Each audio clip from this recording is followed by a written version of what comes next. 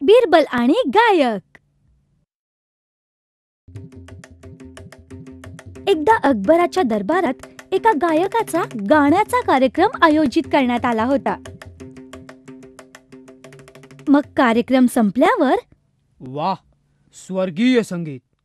आपल्या स्वर्गीय आवाजाने तर तुम्ही मला भारून टाकलं.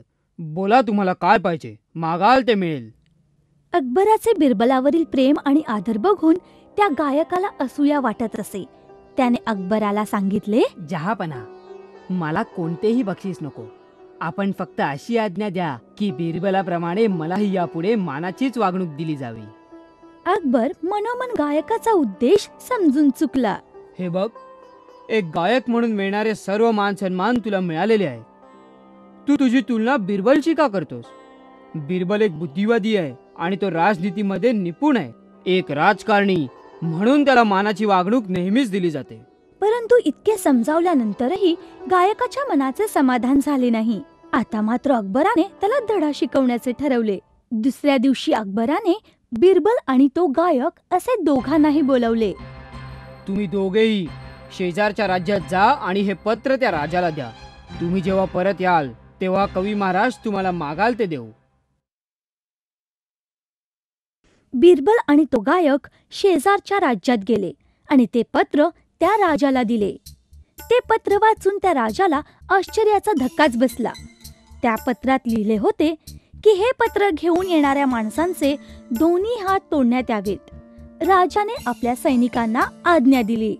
सैनिकांनो उद्या सकाळी या दोघांचेही हात कापून टाका.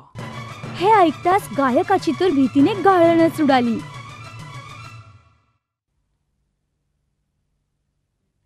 तुम्ही असे घाबरू नका. मी सर्व काही सांभाळतो. उद्या मात्र तुम्ही पुन्हा पुन्हा माझे हात आधी कापा असा घोषा लावा. मी सुद्धा हेच वाक्य पुन्हा पुन्हा म्हणणार आहे. बाकी सगळं माझ्यावर सोपवा. मग दुसऱ्या दिवशी राजाच्या दरबारात जहापना आधी माझे हात कापा. नाही नाही आधी माझे हात तोडा. नाही आधी माझेच हात तोडा. नाही नाही आधी माझेच हात तोडले पाहिजेत. दोघेही पुन्हा पुन्हा तेच वाक्य म्हणत होते. आता मात्र राजा गोंधळला. काय चाललंय हे सगळं? तुम्हाला मरायचंय का? तसं नाही महाराज पण ह्या मागे एक योजना आहे. योजना? कसली योजना? होय जहापना सम्राट अकबरांना तुमचे राज्य जिंकायचे.